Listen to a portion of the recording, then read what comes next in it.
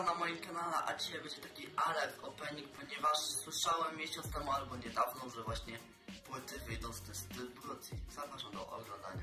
No i właśnie no przechodzimy do tego, bo założę się, że na pewno część moich widzów już tam widziała różne jakieś filmiki, czy tam w jakichś newsach, y, że płyty mają znikna, zniknąć no, przez te nowe Lego drogi. Nie wiedziałam, że takie konsekwencje są, że są nowe drogi, ale mam nadzieję, że kiedyś będą produkować więcej tych takich 16 na 16 No i sobie otwieramy, no i y, co ja sobie zamówiłem? No, zamówiłem sobie już tak y, na zapas dwie sztuki y, białych. Kładziemy tutaj.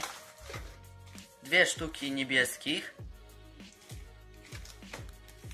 No i kolejne właśnie zielone. E, przyznam, że ja mam taki jeden zielony, ale taki w starym kolorze, taki bardziej zwykły zielony, a to jest taki, nie wiem, taki, nie wiem, mm, pla, plastelinowy, tak to bym opisał. Taki, że mam inny kolor, taki zwykły zielony, a to jest jakiś inny zielony.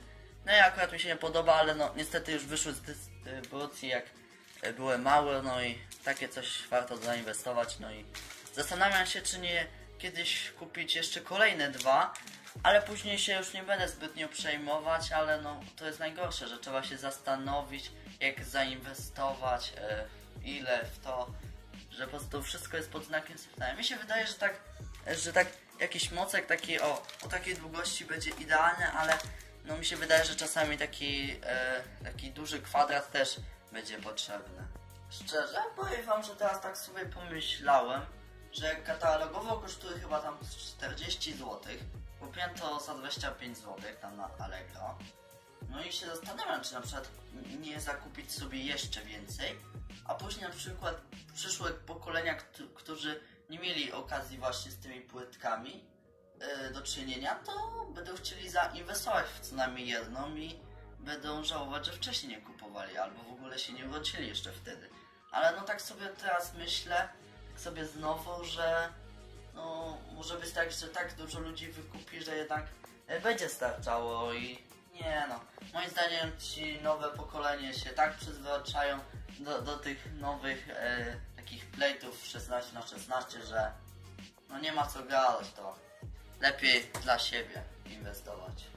O, jeszcze opowiem wam taką ciekawostkę, którą no akurat y, nie ma nic związane trochę z Lego, ale nawet ma związane, bo były mega promocje Lego właśnie w Tesco. Ja się zdziwiłem, że nowe zestawy z 21 roku są no świeżynkami, a są w promocji. Się zdziwiłem, a okazuje się, że te wszystkie Teska w Polsce znikają, no i no szkoda, że wtedy nie kupowałem płytek, ale no, tam tylko 5 zł na Allegro y, no to płacę, a tak to tam miał za 20 zł, no.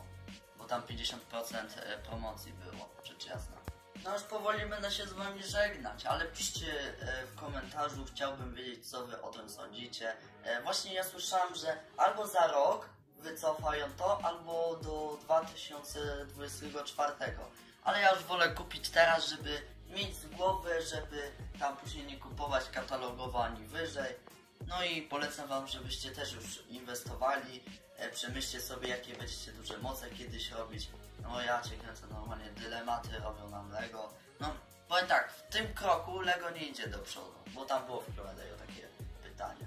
No, to ja się z Wami żegnam i do zobaczenia.